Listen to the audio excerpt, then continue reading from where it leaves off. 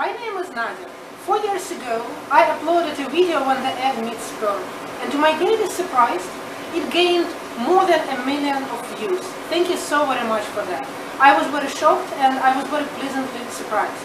So now I think it's high time to explain where did I take the eggs. So a lot of you thought that the eggs were taken from human, which is not the case. The eggs were taken from the sea urchins.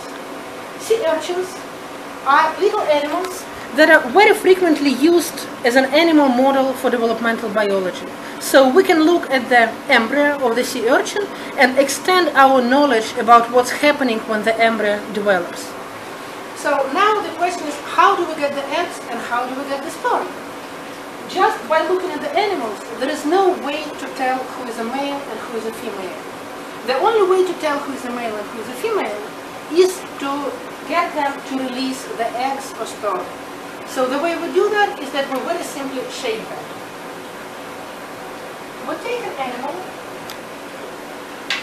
and we put them on the paper towel and then we just firmly hold them and shake.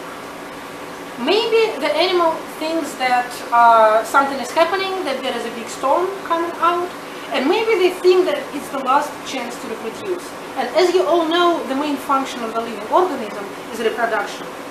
So after you shake the animal for some time, you would be able to see that some of them would release yellow eggs, those would be the females, and some of them would release white sperm, those would be the male. A little bit at first.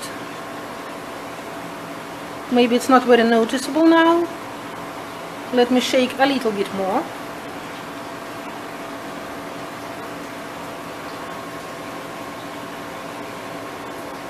And now you can see these yellow eggs. And then you collect the eggs by placing the animal upside down in the beaker, just like that. And what I have here is just the sea water, just salty water.